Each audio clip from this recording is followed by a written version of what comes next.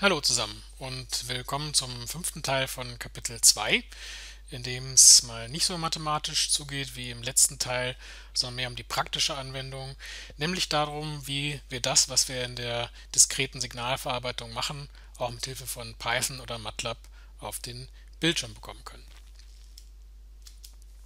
Sie sehen schon, es geht ein bisschen bunter zu.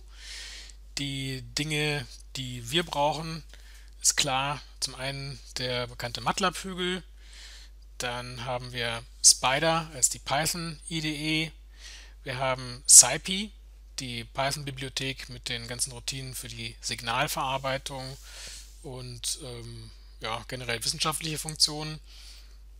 Und schließlich die Matplotlib, die Plotting Library von Python.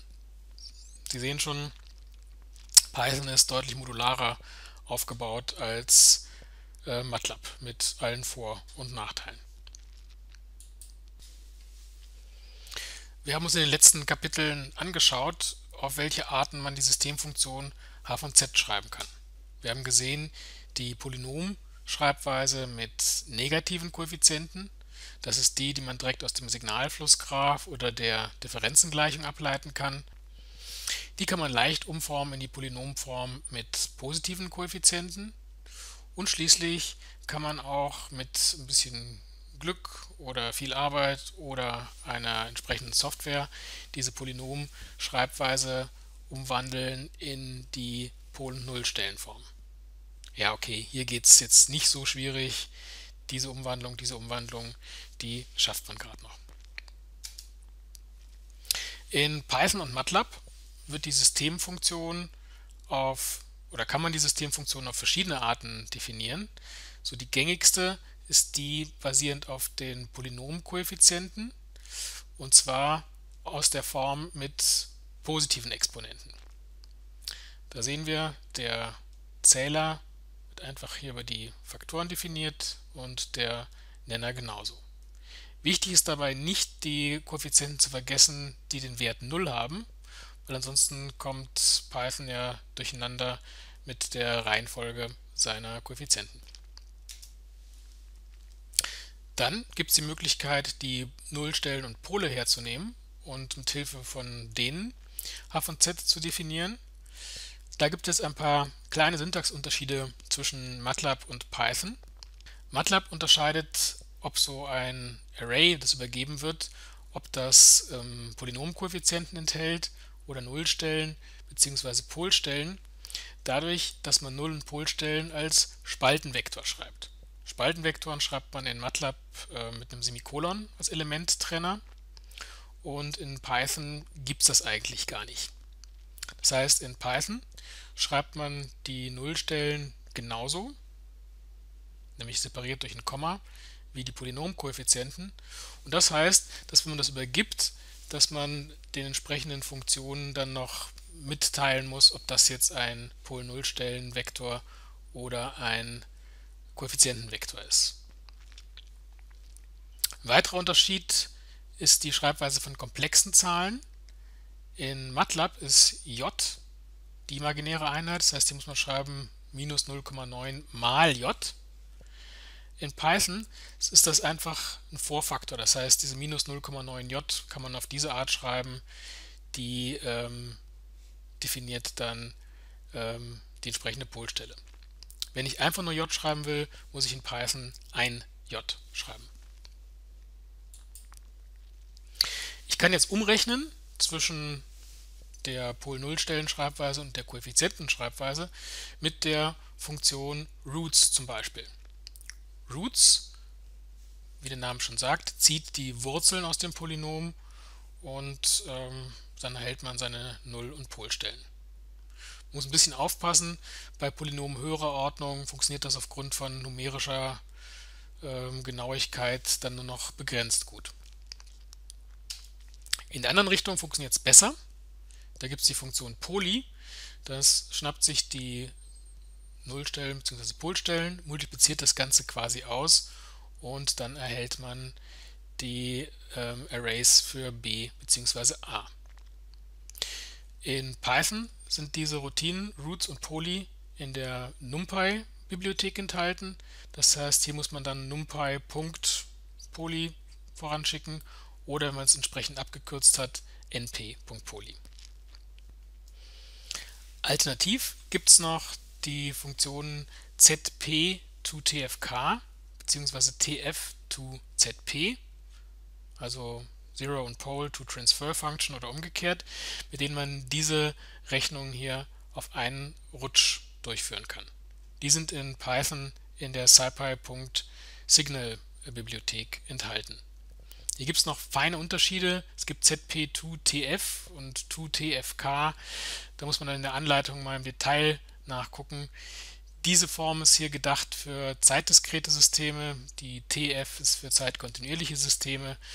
Ähm, das würde jetzt ein bisschen weit führen, hier darauf einzugehen.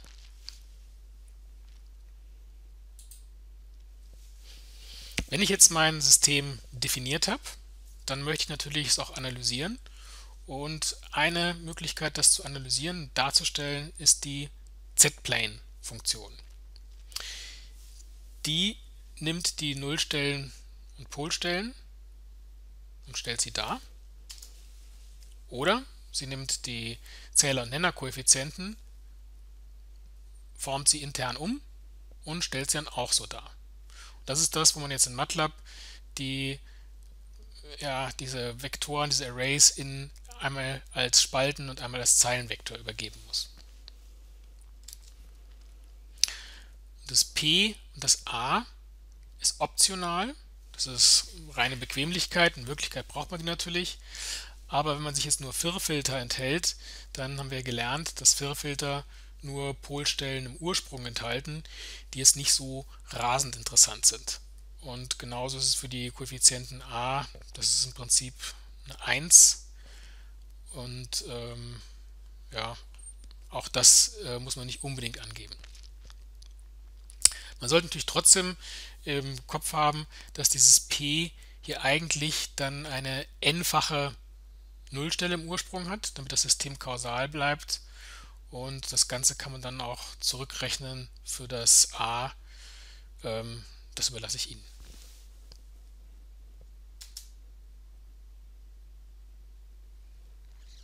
So, das haben wir gerade schon gesagt. MATLAB unterscheidet da. Python unterscheidet erstmal gar nicht, weil es diese Funktion standardmäßig gar nicht gibt. Aber ich habe da eine Implementierung für geschrieben, die Sie in dieser dsp underscore fpga underscore lib.py finden. Da müssen Sie, damit Python weiß, was es denn jetzt gerade übergeben bekommen hat, den Parameter zpk gleich true oder gleich false setzen. Dann funktioniert das ansonsten genauso wie die ähm, MATLAB-Routine.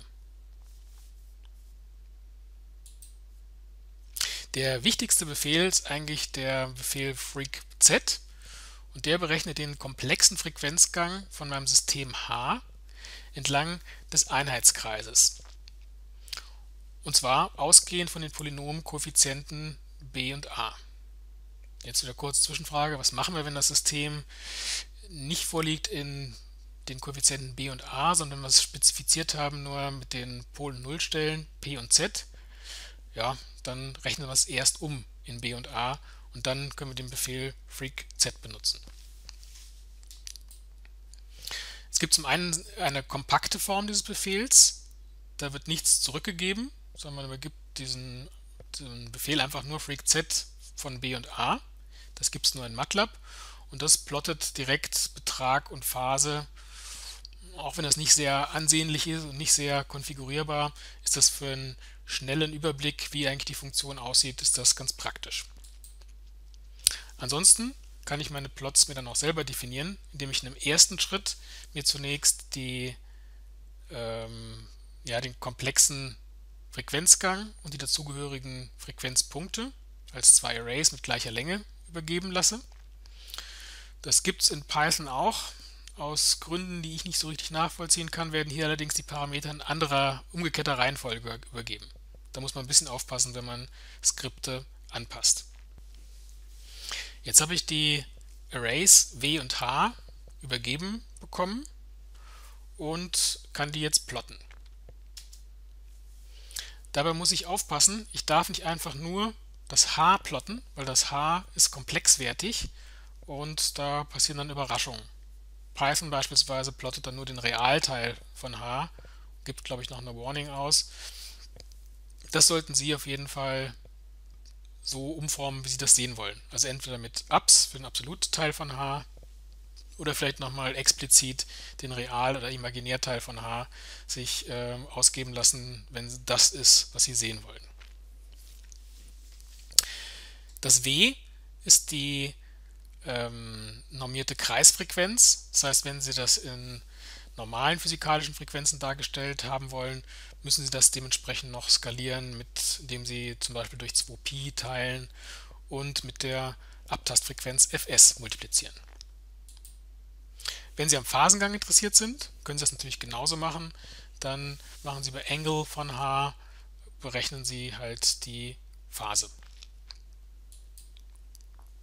Als weitere optionale Parameter können Sie entweder hier einen Integer übergeben, zum Beispiel 2048, dann bekommen Sie 2048 Frequenzpunkte angezeigt. Sie können alternativ auch ein Array von Frequenzen übergeben, wenn Sie vielleicht nur bei bestimmten Frequenzen genau wissen wollen, wie an dieser Stelle jetzt Ihr Betragsgang oder Ihr komplexer Frequenzgang ist. Außerdem können Sie die Abtastfrequenz noch übergeben. Dann sind die zurückgegebenen Frequenzpunkte W bereits skaliert mit dem Fs. Auch da lohnt es sich nochmal in die detaillierte Anleitung zu gucken. Da gibt es noch so ein paar mehr Feinheiten. Und das ist, wie gesagt, eigentlich der wichtigste Befehl, den man eigentlich immer braucht, wenn Sie in irgendeiner Form am Frequenzgang interessiert sind. Ja, dann gibt es noch die Impulsantwort. Auch die erwartet als Eingangsparameter die ähm, Polynomkoeffizienten b und a. Das müssen Sie in zwei Schritten auch hier wieder machen. Sie bekommen übergeben die Impulsantwort, die eigentlichen Werte und den Zeitvektor und können dann zum Beispiel mit einem Stemplot t, und die entsprechenden Impulswerte plotten und dann bekommen Sie irgendwas, was so aussieht. Und nochmal zur Erinnerung, die Koeffizienten b, die entsprechen bei einem Firrefilter genau der Impulsantwort. Das heißt, das hier ist ein Firrefilter, habe ich so definiert. Dann sehen Sie, das sind hier die entsprechenden Koeffizienten des Filters. Das ist sehr praktisch bei Firrfiltern. Optional übergeben können Sie noch die Anzahl der zu plottenden Punkte n. Wenn Sie die nicht übergeben, dann versucht MATLAB mit einem intelligenten Algorithmus herauszubekommen, wie viele Punkte denn interessant sind. Und dazu werden so Dinge wie jetzt die, sagen wir, dominanten Zeitkonstanten mit berücksichtigt, ob es ein Firrfilter, ob es ein IR-Filter ist und so weiter. Dann können Sie noch die Abtastfrequenz Fs übergeben.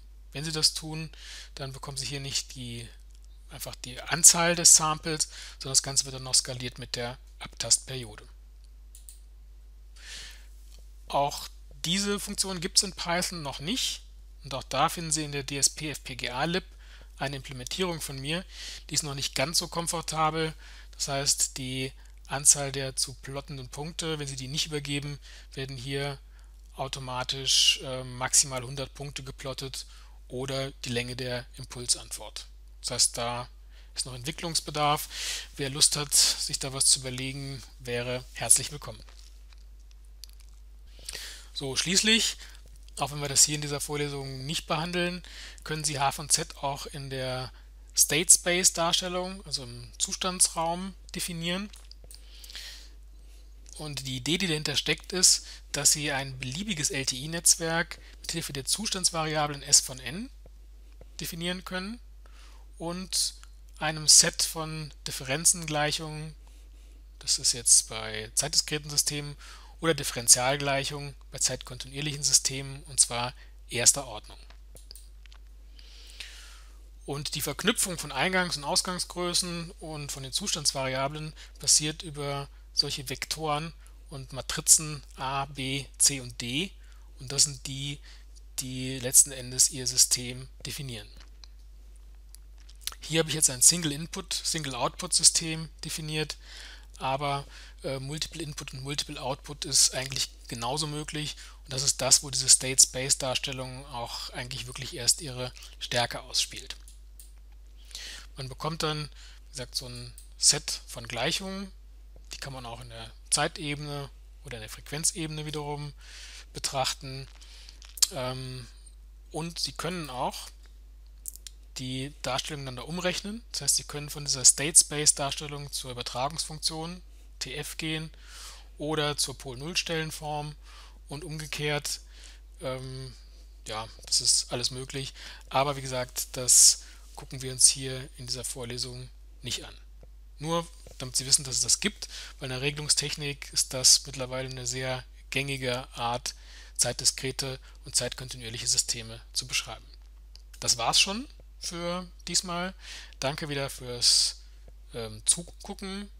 Und wenn es ums Mitmachen geht, dann müssen Sie jetzt tatsächlich Ihren MATLAB und Python-Interpreter anwerfen und so ein paar Dinge einfach mal ausprobieren, die ich Ihnen hier in der Vorlesung beschrieben habe. Danke und bis zum nächsten Mal.